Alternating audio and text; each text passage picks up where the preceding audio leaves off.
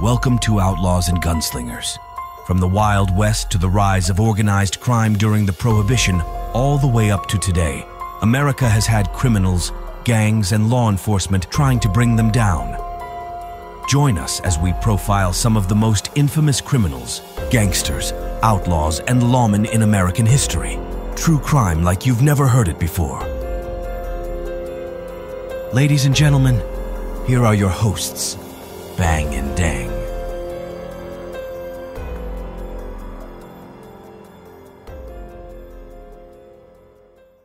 Welcome back to Outlaws and Gunslingers with yours Bang and Dang and uh, how Hell's Angels time once again for us. We're uh, going down under. Oh. mateys, down under, mateys. The Outback, mate. To the outback. Excuse me, mate. You're in my way. uh, we're uh, checking out the old Hell's Angels in Australia, where they are uh, legally classified as a criminal organization in the state of Queensland. And there have been attempts to classify them as such in New South Wales as well.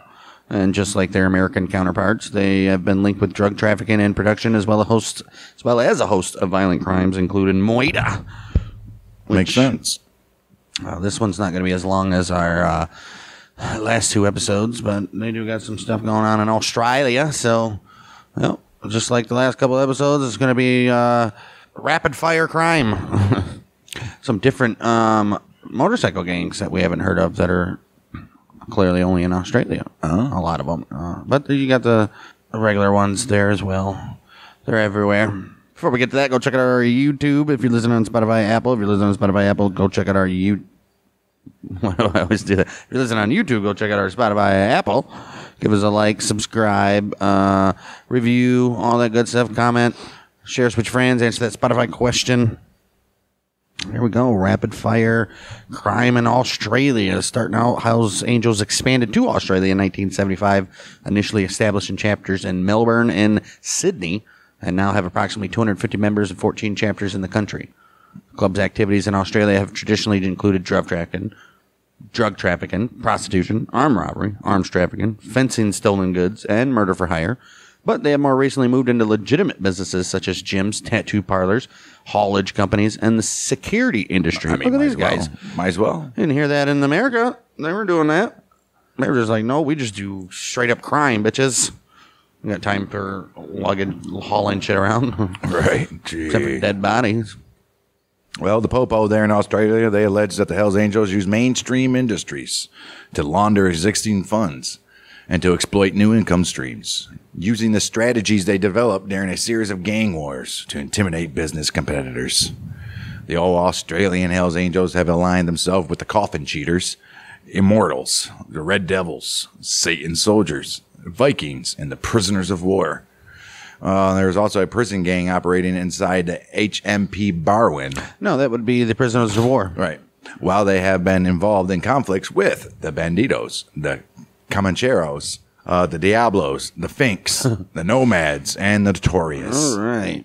Uh, The first conflict was with the rebels after the Hells Angels demanded that the rebels change their colors from red and white, which is the same colors as the Hells Angels. The conflict ended with the rebels beating a Hells Angels chapter president in his house with a baby's pram. What is that? Four wheeled carriage for a baby pushed by a person on foot. A pram, huh? It's a stroller. I can see it. Right.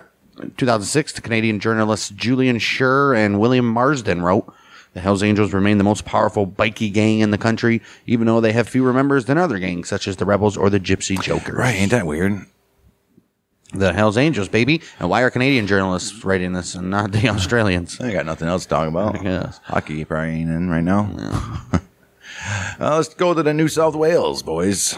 Members of the rival motorcycle gang, the Comancheros, and members of the Hells Angels believed to be involved in a clash on Melbourne to Sydney flight, and subsequently, jeez. and subsequently at the Sydney airport on the 22nd of March, 2009. We're on a plane. Damn. The clash resulted in one man, which was a Hells Angels associate, Anthony uh, Zervas, being beaten to death. The Popo estimated as many as 15 men were involved in his violence.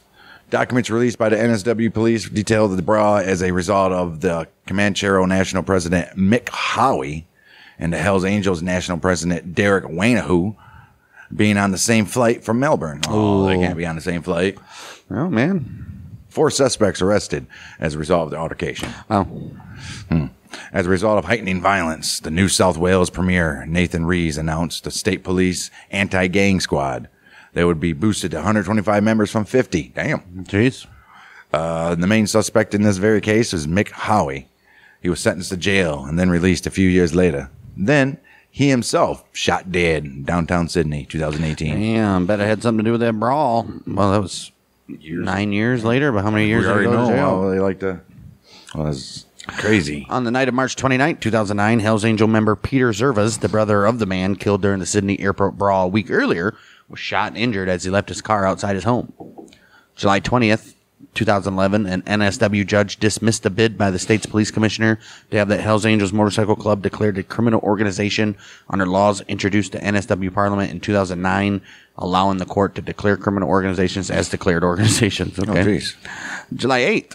So the uh, judge didn't want that, huh? July 8, 2013, Tyrone Lee Slemnick, age 37, was standing guard outside the home of Hells Angels Sydney chapter president Suvat Saram Saklioglu when he was gunned down as shots were fired from a passing car. No one has been held responsible for his death, and there have been no arrests as a result. Well, I bet now. Following the death of Slemnik, Saramasakaliaglu, the club president, he was charged with the possession of a military-style assault weapon, which was found in the boot of a taxi, for trunk for which you all. right, which he was later acquitted of. All right, can't. It's a taxi. Was he inside that taxi I would assume so. at that time? Maybe. His lawyer, Omar Juweinat, told the court that the police were unable to prove that Saramasakaliaglu knew the firearm was even there. Right. The Popo feared that the weapon was to be used for retaliation. Probably was. Following the acquittal for those matters in April 2016, Saram Saklioglu, he stood trial with two others for abduction, for which he was found not guilty. Well, good for him. November 2017. They're trying to get this guy. charged for supply of large commercial quantity of drugs. He was held in custody for 18 months before his trial was derailed by the prosecution, prompting lawyer Omar Juweinat to complain that civil liberties are quickly eroding. Damn, 18. Dude, that's bullshit. You're supposed to be a spare feed, Well, it is Australia. a quick, speedy trial. Well, it is Australia. right. Run by uh, Britain rules, right? Right. Well, that's all for New South Wales. Let's move on to Northern Territory. Hells Angels was established in the Northern Territory after patching over the Blancs, which was a Darwin-based bikie gang on. Uh, hey, it's a bikie gang. It's a bike gang. On uh, 2nd of April, 1993. The Darwin chapter of the Hells Angels is believed to be involved in drug and gun rackets, trafficking of firearms, and other equipment stolen from Army units. Oh.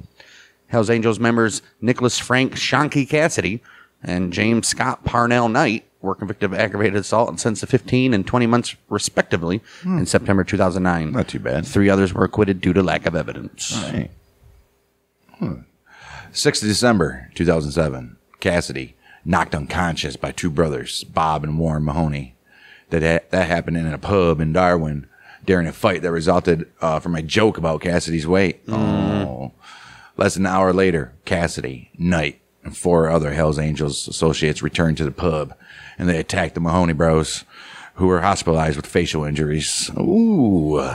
Mm-hmm. Meanwhile, Levi Griffiths was killed after being hit by a ute driven by Hells. Is that a truck? I think a ute is a truck. It's like a lorry. Oh, no.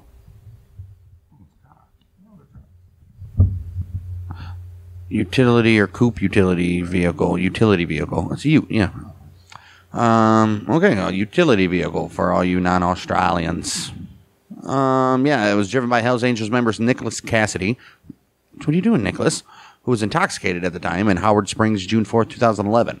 Cassidy attempted to conceal the accident by moving Griffith's body to an area on the Stuart Highway in Coolalinga, several kilometers from the crash site, replacing the windscreen and spraying the vehicle with bleach and insecticide. Oh. Cassidy was arrested after being identified as the owner and driver of the vehicle that hit Griffiths. 21st October 2013, he was convicted of attempting to pervert the course of justice. He was sentenced to two years in prison November 1st. That was it. Oh, wow. Geez, didn't, what happened to the guy? Did he get killed? Yeah, he was killed. Didn't even get charged for that. Oh wow, it's the crazy. Well, shit happens, right? Yes. Two Angel associates arrested and charged by the Northern Territory Popo, 14th October, year 2020, with supplying a commercial quantity of a Schedule One dangerous drug possession of a Schedule II dangerous drug, possession of unlicensed firearms, possession of unlicensed ammunition, and the unlicensed weapons, ammo, and drugs were also seized during a series of raids on multiple properties in rural Darwin area. Damn. Getting all that shit. The raids were carried out as part of a national joint operation against the Hells Angels coordinated by National Task Force Morpheus and involving the Australian Federal Popo and the Australian Border Force and others, which resulted in a total of 24 arrests and the seizure of firearms, ammo, cash, drugs, including meth, coke, steroids, and GHB at 28 locations nationwide. Nationwide. Wow. All right. Well, not much happening in the first two. That's it for Northern Territory. And moving on to Queensland, Queensland, the Brisbane chapter of the Hells Angels, founded 27th of March 1997. Bruno and Nuno da Silva, two Portuguese immigrant twin brothers and former Brisbane Hells Angels members, were arrested following a police surveillance operation and pled guilty to trafficking meth from June 22nd, from June 2012 to October 2013. Oh. The brothers operated from an East Brisbane locksmith business and passed a percentage of their drug earnings to the Hells Angels at weekly meetings, although they had left the club at the time of their arrest. Why? You can't just leave the club. All right, there's no way. December 2015, Bruno was sentenced to nine years imprisonment, while Nuno was sentenced to seven. Oh, shit. 2012, Peter City Argos, Zelko Mitrovic, they call him Steve, both senior Hells Angels members in Sydney, they were granted nomad status and spearheaded a push into the Gold Coast, founding a chapter in the suburb of Burleigh Heads.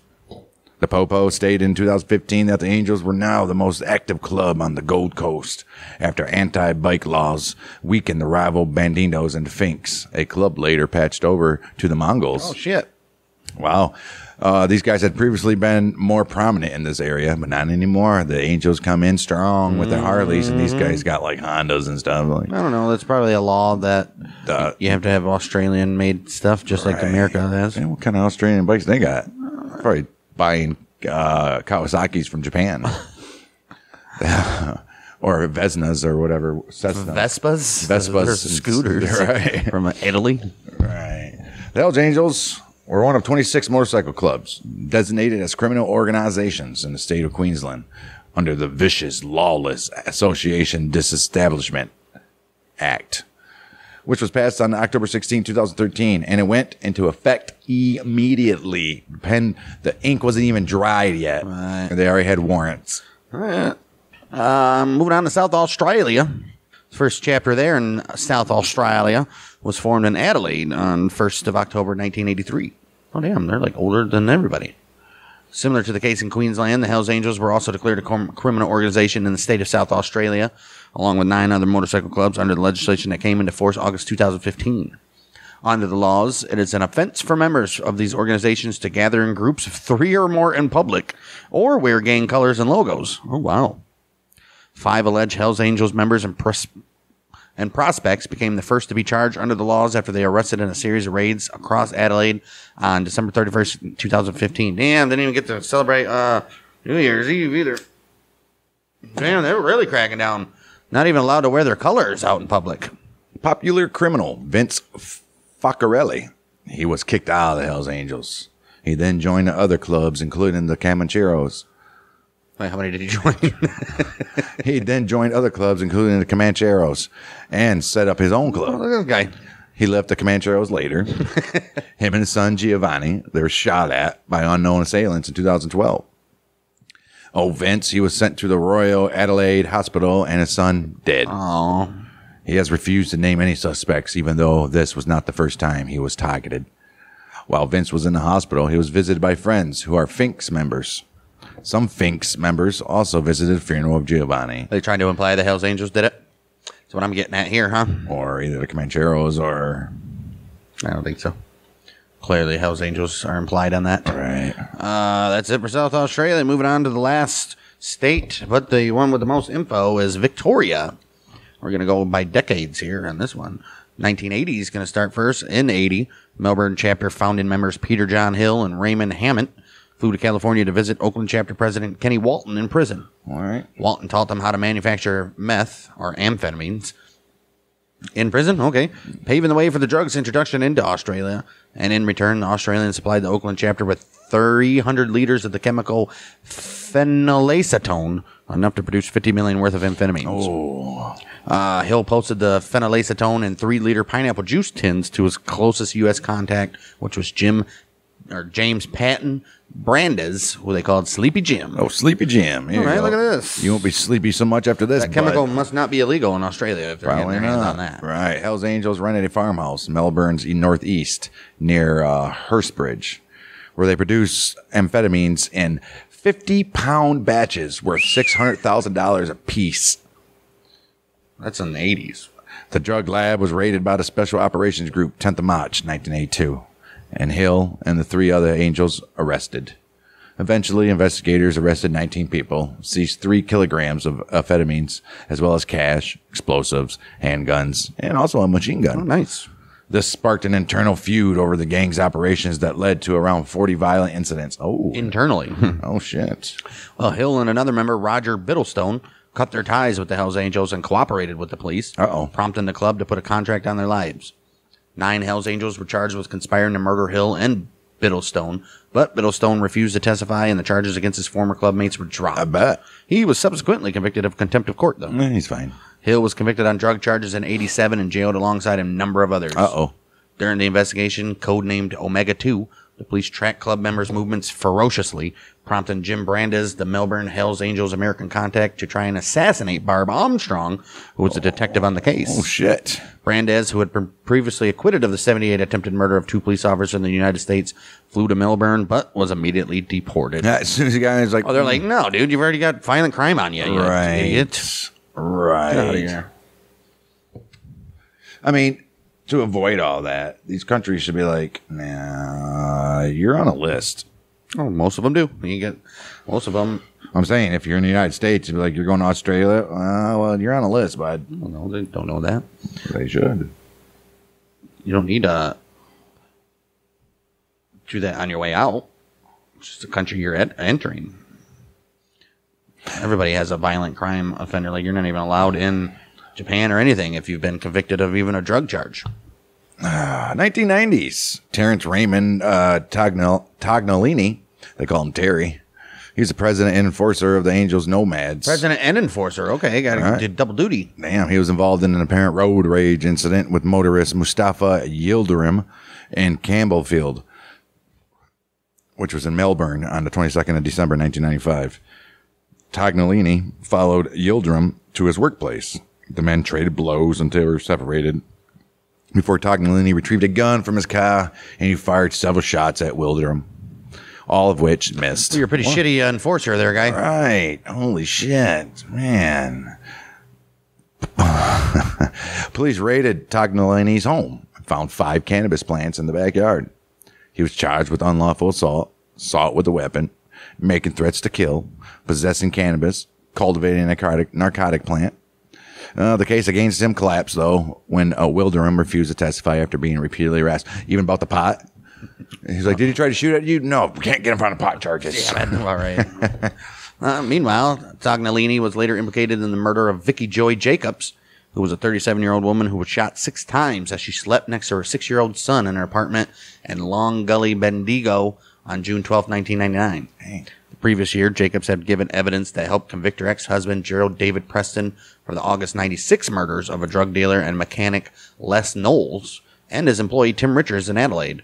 And her testimony implicated the Hells Angels and hiring Preston for the killings. Uh oh. The prosecution heard that Tognolini had uh, contracted Preston to murder Knowles, who was trying to expand into the Hells Angels drug territory, and also sold him a Luger pistol that he used, uh, he used in the murders. Oh, look at that shit. Why is your president doing this stuff, guys? I know, it's so stupid. Jeez. Well, the Victoria Police bulldozed their way into the fortified jeez. Thomastown headquarters of the Nomads chapter in July of 1999 as part of the investigation, seizing a sawn-off shotgun, bulletproof vests, bags of documents, what kind of documents, and three motorcycles. So nothing really. Tognolini, he was overseas, Preston in prison at the time of Jacob's murder, and no one has been charged with this crime. However, a coronial inquest in 2004 declared that the Popo believed she was murdered on the orders of the angels as a payment for Preston remaining silent over the club's involvement in the Adelaide murders. Hmm. I don't know about that. Maybe. So her ex husband and probably the father of their kid, Right. And he was like, "I'll stay silent, but you can murder her. Don't worry." Wow, it's pretty fucked up. I guess he was probably gonna get murdered if not, huh? All right. And moving on to the 2000s, June 2004, Victoria police arrested Stephen Rogers, the president of the Melbourne chapter of the Hells Angels, on charges of tra- trafficking in amphetamine. Oh.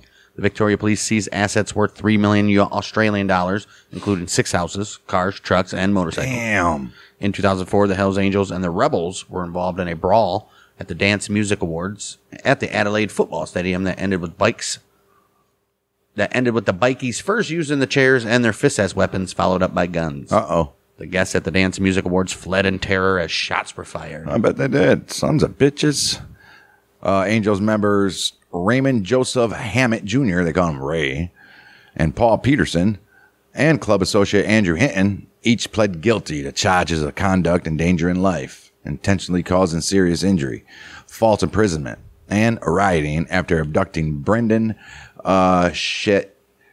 Chiavella from outside a bar and holding him captive for five hours in Ivanhoe, Melbourne. They did that on the 25th of June in 2005. Uh, Chiavella was found with a toe amputated, but told the Popo he could not recall how it happened.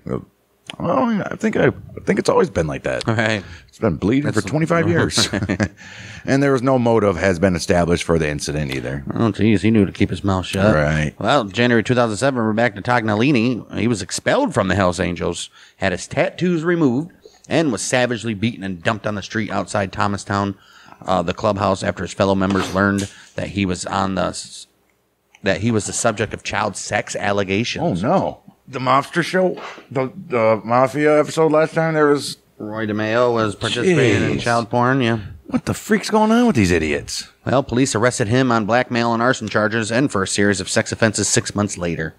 He was found guilty of 18 counts of supplying a drug of dependence to a child, Oh shit! one count of an indecent act with a child under 16, Oh, that dude needs to be moited. and one count of attempting to pervert the course of justice and imprisoned for six and a half years in 2009, and was further convicted of nine counts of blackmail, three of arson, two of intentionally causing injury, and stalking, and had 18 months added to his sentence in 2010. That's it. Just 18 months. Many of Tognolini's crimes were part of the extortion racket he ran, using his former Hells Angels connections as well as threats and assaults to intimidate his victims. Nobody killed this guy? Right. The fuck? Holy shit. 18th of June, 2007.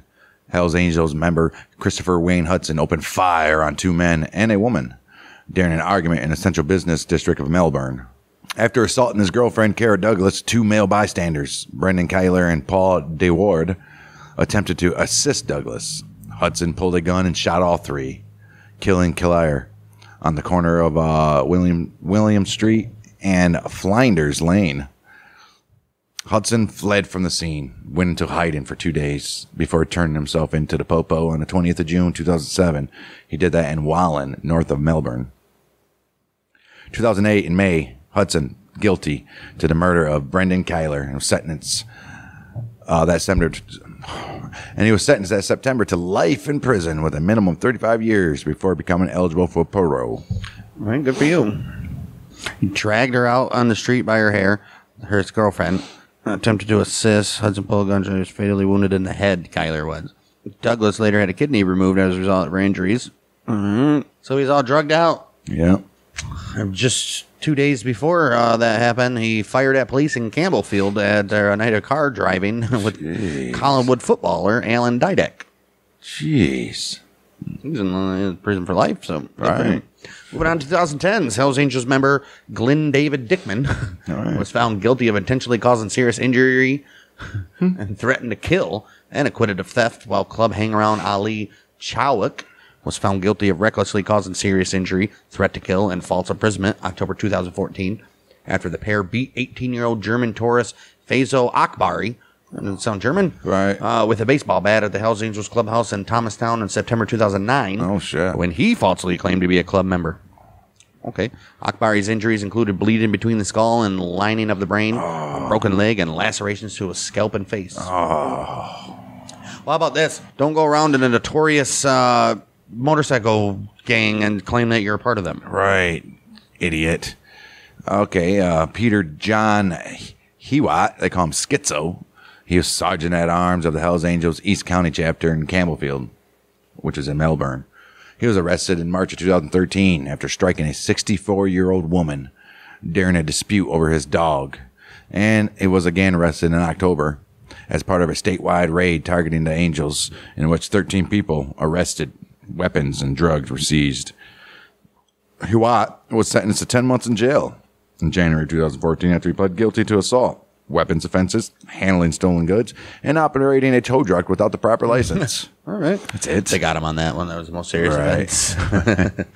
Uh, the Bandidos uh, reportedly declared war on the Hells Angels after an ambush on several Bandidos members outside the affiliated Diablos clubhouse in Melton, Melbourne on the 1st of March 2013, in which over 30 shots were fired and two men, including Bandidos National Sergeant at Arms Toby Mitchell, were wounded. Whoa. The Hells Angels Nomad chapter were blamed for the attack, and brothers Daniel and Ben Pegararo, both members of the Hells Angels Puppet Club, the Red Devils, were questioned by the police.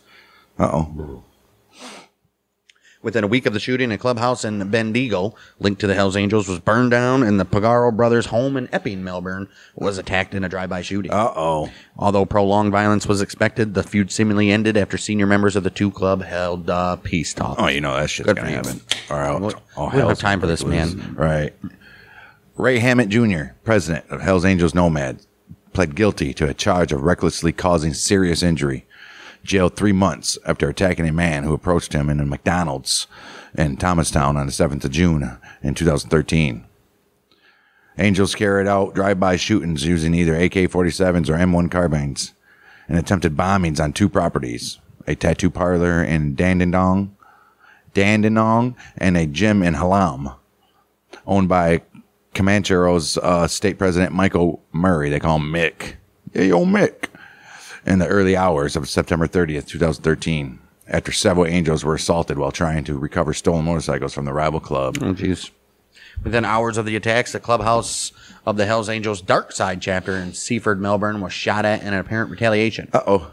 October 13, 2013, Victoria police raided every Hells Angels property in the state Oh, shit. in an attempt to curb bikie related violence, seizing guns, ammo, drugs, and cash, and arresting 13 people, but failed to retrieve the assault rifles used in these shootings. Damn. Of course, why would you? Well, they may be stupid, but they're Finally, not dumb. finally, the first time these guys did something smart was not bring the shit back. Right. Oh, Dennis Basic. Not a basic Dennis. Right. He was a, a prospective member of the Dark Side chapter. He was arrested for attempted bombings, properties, and pled guilty to 13 charges, which also included firearm and drug possession. Having been held in custody since his arrest until the time of his sentencing in December 2015, the judge ruled that the time he had served in jail it was enough, but ordered he served an additional 12 month community corrections order. Hell are these judges doing? The president of the Hells Angels Dark Side chapter, Mohammed Sam Coder, was jailed for seven and a half years for selling more than $220,000 worth of amphetamines to undercover police officers in January 2015. Oh, you Again, why the fuck are your presidents doing this? Fucking stupid. He had been targeted during an investigation codenamed Operation Staten, uh, part of a major crackdown on motorcycle gangs by Victoria Police.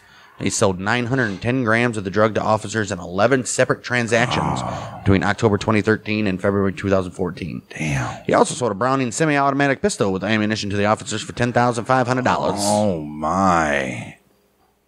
Yeah, that was, uh, like I said, not as long as the other ones, but I mean, actually, not even as violent as I uh, I mean, was just expecting, to be honest. regular stuff, pretty much. Well, next week though we'll have uh, move on to Canada or UK, one of them. Canada's got a pretty decent one. UK's got a pretty decent one. Canada, United Kingdom, United Kingdom's actually Canada and United Kingdom are pretty long. And then we'll move to the rest of the world, which includes places like uh, Austria and stuff like that, Germany, stuff like that. And then we'll move on to end it out with the second most famous member of this group behind uh, old Sonny Barger himself, George Christie Jr., who, who- if you look on YouTube right now, the dude's been on 100 shows. I believe he's even got a podcast now himself. so, I mean, all this shit's been, at least the California stuff, because that's where he was. But um, Yeah, so we got a few more months of Hell's Angels coming around the corner. Next week we'll be back for some more remastered, which is going to be, I believe, Billy the Kid. Oh, that's who it is. The little fucker himself, huh? John Wesley. Uh, next week we'll be moving on to our remastered edition of John Wesley Hardin. This guy's possibly- a prick. possibly one of the fastest gunslingers ever to exist. Nobody liked Jesse James. No, man, nobody cared about Jesse James, dude. But anyways, yeah, John Wesley Hardin next week. I mean, yeah, next week. This guy's a fucker.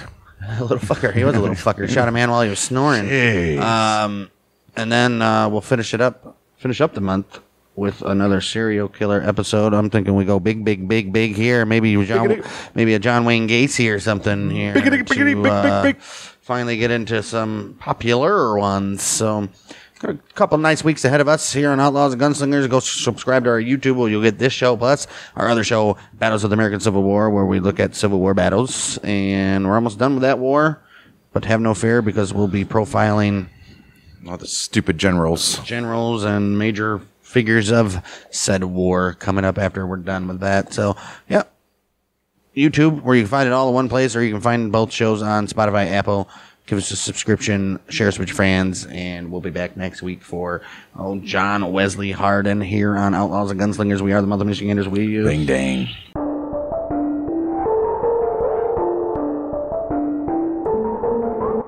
If you enjoyed this video, be sure to subscribe so you never miss out on new episodes of Outlaws and Gunslingers or Battles of the American Civil War, right here on the Bang Dang Network. And don't forget to check out those playlists.